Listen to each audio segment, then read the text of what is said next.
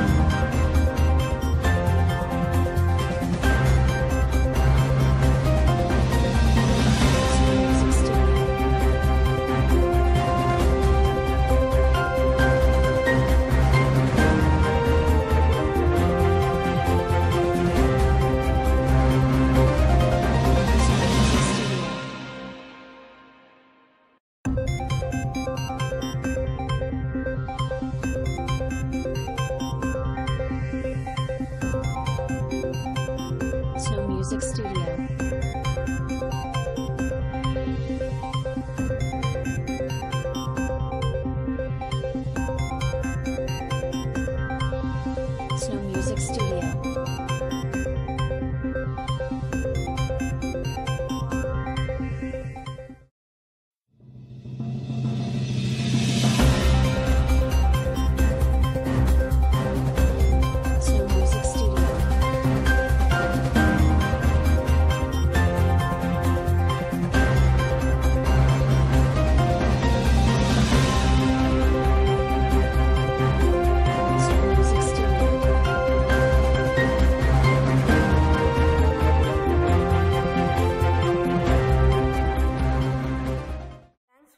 வாட்சிங் உண்மை செய்திகள்.